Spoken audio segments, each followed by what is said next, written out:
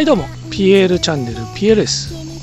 本日は茨城県笠間市の方に来ております。重い石。いい石でしょう。本日はこの石を切り出してる石切山脈の方に行ってみたいと思います。日本最大の採石場大河東西1 0キロ南北5キロにわたる通称石切山脈というところでねここにね地図に載ってない幻の湖があるということで。ねチケット料金は300円と。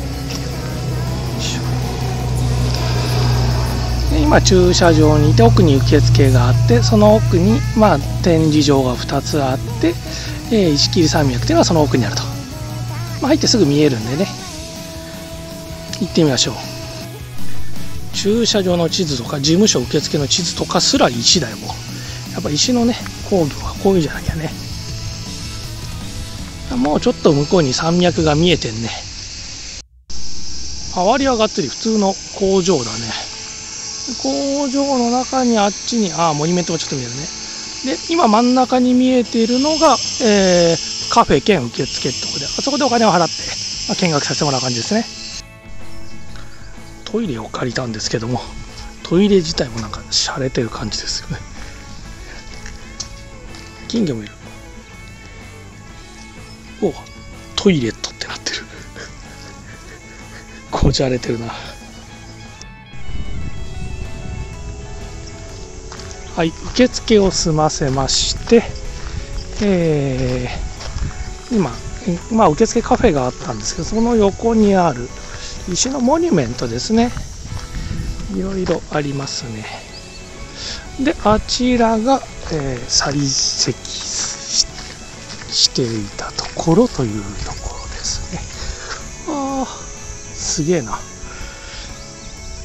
でこの手前にあるのが、えー、通称地図にない湖ということでねまあ切ったところに溜まった雨水ってことは池だよね要はこれはすごいねでも。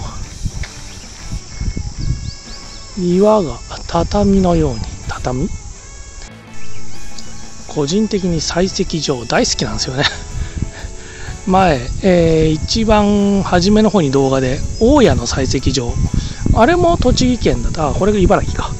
栃木県で撮ったのもあるけども。やっぱこう人力でねこう削って運びっていうのがやっぱりロマンがあるよね。でこうやっぱ切り口もこう映えるっていう。石のモニュメントだけでもこれ将棋の盤になってね面白いよね。どうやってこんなの作ったんだよっていう。庭石。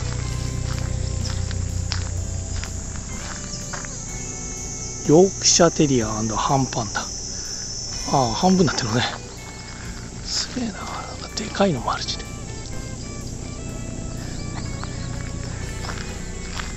タマーなんだろ貯金箱。貯金箱なわけはねえよね。何かはわからないね。ねもうこれはもう巨大な石というか。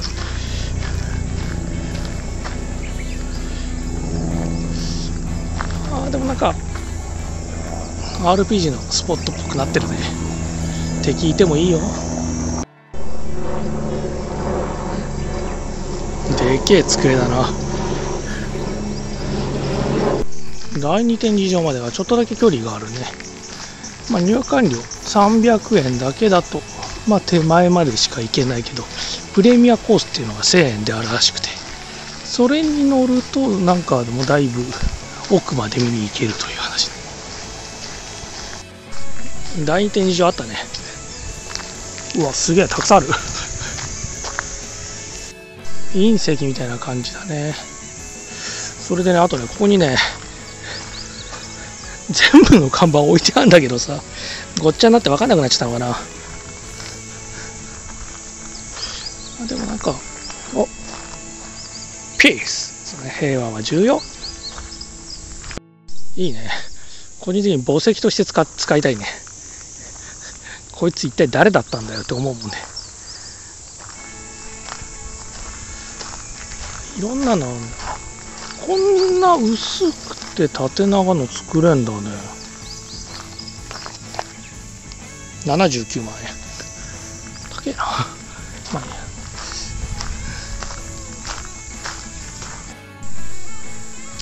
いろいろあるよね。これすげえな。ウイルス的な。ミートトゥーミート。刺さってんのか？刺してんのか？A to Z A おなるほどね。分かった分かったよ。こっちから見ると Z と。なるほどね。タヌキ。うん天狗じゃねえし。なあ顔も鳥になってんだ。鳥がくっついて顔になってる。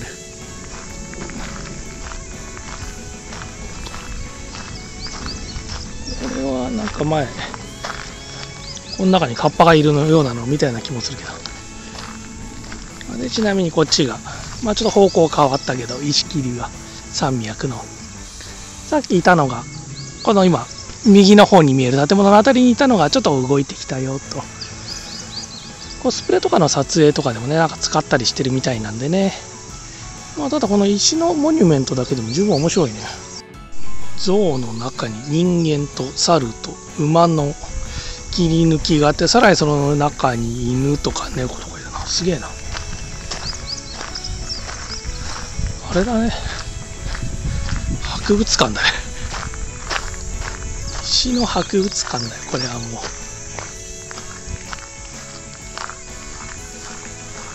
泣いた赤鬼。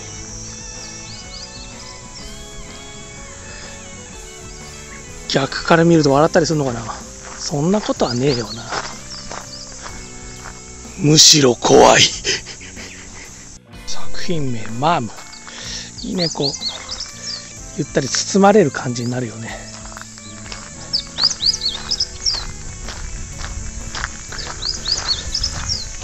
こっちにいるマムはちょっと怖いね。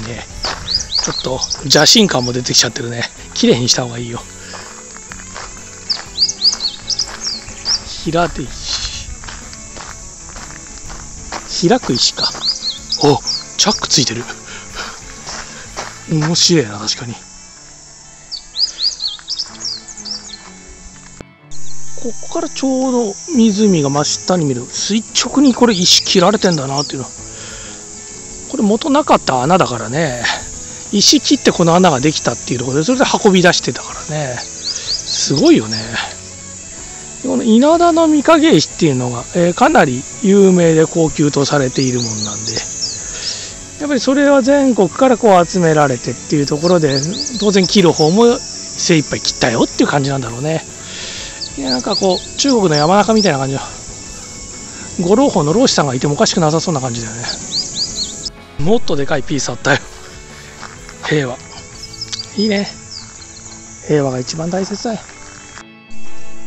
ゲーム。ああなんだっけこれ。バックギャモンじゃなくてなんかこんなのあるよね。何のゲームかがわかんねえ。こういうのを全部石で作ったりっていうのは。隣なんか文字が書いてある。稲田ストーン。エキシビション。4回。鉛筆と折れた鉛筆と。